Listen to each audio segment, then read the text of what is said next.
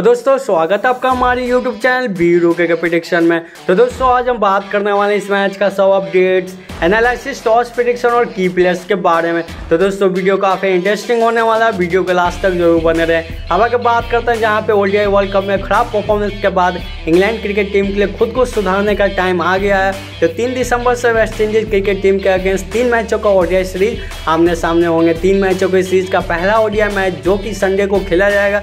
North end Antigua Sir William Richards stadium में, जहाँ पे दोनों टीम चार साल बाद ओडीआई क्रिकेट में एक दूसरे से खेलने के लिए उतरेगी।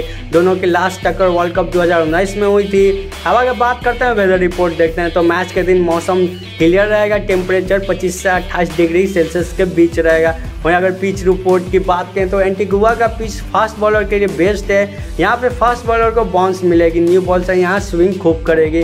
वहीं अगर दोनों टीमों का हेड टू हेड चेक करते हैं ओडीआई में, जहाँ पे टोटल मैच 102 खेले गए हैं। तो जहाँ पे जिसमें इंग्लैंड बावन मैच जीत के आ रही है तो वहीं वेस्ट इंडीज चौवालीस मैच जीत के आ रही है नो रिज़ल्ट सिक्स है। बात करते हैं इंग्लैंड टीम का शॉर्ट एनालिसिस करते हैं। तो टीम का लीड करने के लिए फिर से जॉस बटलर पर भरोसा किया गया है। इंग्लैंड को वनडे फॉर्मेट में एक्सपीरियंस की कमी फेस करना पड़ सकता है, क्योंकि मोइन अली, आदिल राशिद डेविन मलन और क्रिक वॉक्स अवेलेबल नहीं है। जॉनी ब्रेस्टो, जोई डूट और मार्क वुड जैसे प्लेयर को भी सीरीज़ के लिए रेस्ट दिया गया जबकि बेन स्टॉक इंजर्ड है। तो इंग्लैंड की टीम बिल्कुल बिल्कुल न्यू और यंग है, जहाँ पे ओपनिंग करेंगे Zak Crawley, Liam Livingstone middle order की बात करें तो फ्लिप सॉल्ट है, ओली पॉप है। हैरी ब्रूक इस सीरीज़ में टॉप परफॉर्मर हो सकते हैं। फिनिशिंग में बात करें तो जॉस वर्टर और विल जैक है। ऑलराउंडर देखें तो सैम करन को अच्छा परफॉर्मेंस करना होगा।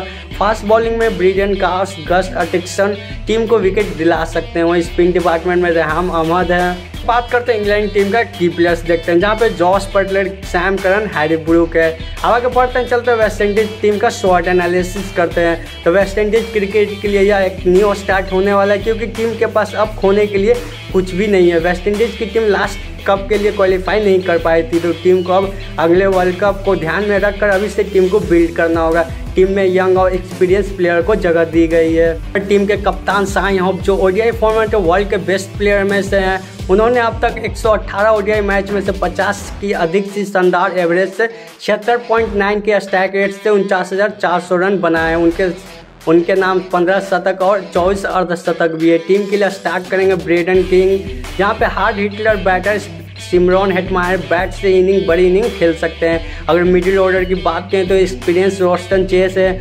Sherfane Rutherford and Romario Shepherd जो टीम को अच्छा बैलेंस कर सकते हैं। फास्ट बॉलर की बात करें तो अलजारी जोसफ है, जो टीम के लिए वाइस कैप्टन है। यामिक चरित टीम के लीग ब्रेक स्पिनर है। मैथ्यू फोर्ड सीरीज़ में डिबट कर सकते हैं। अब अगर बात करते चलते की प्लेयर देखते हैं। तो वेस्ट इंडीज़ का की प्लेयर में है साई होप है हेटमायर है ब्रैंडम टीम है। तो फाइनली दोस्तों, हमने हर एक चीज़ पे डिस्कशन कर लिया। अब आगे बढ़ते हैं, चलते विनर की ओर। तो हमारे अकॉर्डिंग आज का मैच विनर इंग्लैंड होगा, क्योंकि इंग्लैंड की टीम काफ़ी स्ट्रॉन्ग लग रही है। यहाँ पर वेस्ट इंडीज़ को हार मिल सकती है। तब ऐसे इंटरेस्टिंग वीडियो के लिए हमारे चैनल के साथ बने रहे। हमारे चैनल को लाइक एंड सब्सक्राइब ज़रूर करें। और कमेंट में बताएँ कि हमारा वीडियो कैसा लगा। होगा मिलता है नेक्स्ट अपडेट के साथ।